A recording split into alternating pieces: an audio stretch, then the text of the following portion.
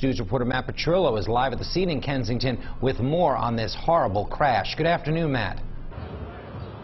Hey, Jim, good afternoon to you. Police tell us that vehicle was traveling more than 100 miles an hour when it slammed into the Allegheny SEPTA station. On the ground, though, there were no skid marks, police say. No attempt of that driver trying to stop before that crash.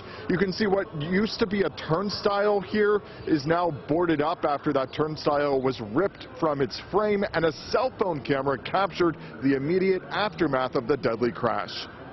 He jumped this joint right here and went straight into that joint, bro. Like 80 miles Like 80 miles per hour.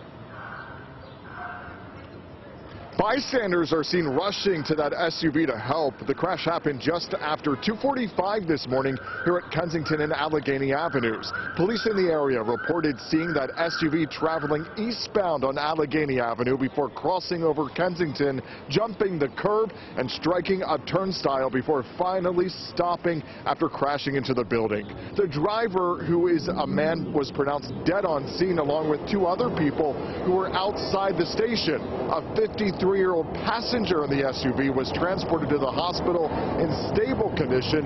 Take a listen to how one witness described the horrifying crash. I was standing across the street and a guy came through the intersection doing about, I don't know, maybe 100 miles an hour or better. And um, I saw him hit the median, jump over the median and crash into the wall. Fortunately, this entire incident was captured on police real-time crime cameras several angles.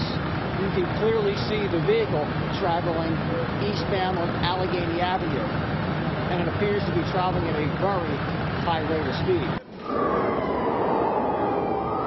Eyewitness News also captured the SUV being towed away from the scene this morning. You can see a lot of the front end of it is just a mangled piece of metal. The impact of the crash caused severe damage to the building, but authorities tell us that the building uh, is safe. The station here has reopened.